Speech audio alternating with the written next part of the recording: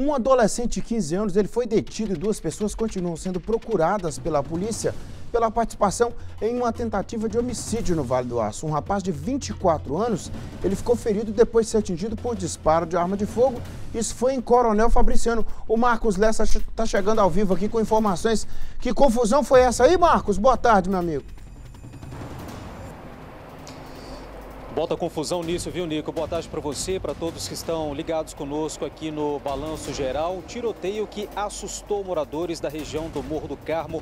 Ontem à noite, em Coronel Fabriciano, a Polícia Militar foi informada sobre esse tiroteio e, ao chegar no local, Nico encontrou um jovem de 24 anos ferido. Esse jovem foi ferido por disparos de arma de fogo. Mesmo consciente, ele disse para os militares que os disparos foram efetuados por três indivíduos. Trata-se de dois jovens, um de 20 e o outro de 22 anos, além de um menor de 15 anos. Esse jovem foi levado pelos militares para o Hospital José Maria Moraes, em Fabriciano, onde lá recebeu atendimento. Durante rastreamento por bairros de Coronel Fabriciano, militares encontraram o menor suspeito por essa tentativa de homicídio.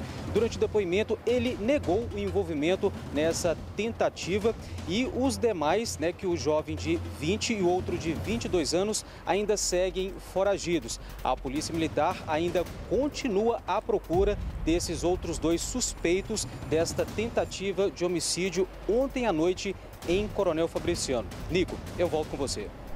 Obrigado, viu, Marcos? Ah, mas vai encontrar. Sempre tem alguém que tem informação. Quem tiver, passar para o 181, diz que denúncia. 190, o número da polícia. Obrigado, viu, Marcos? Depois você volta aqui. Chama o Lucas de volta aqui, ó.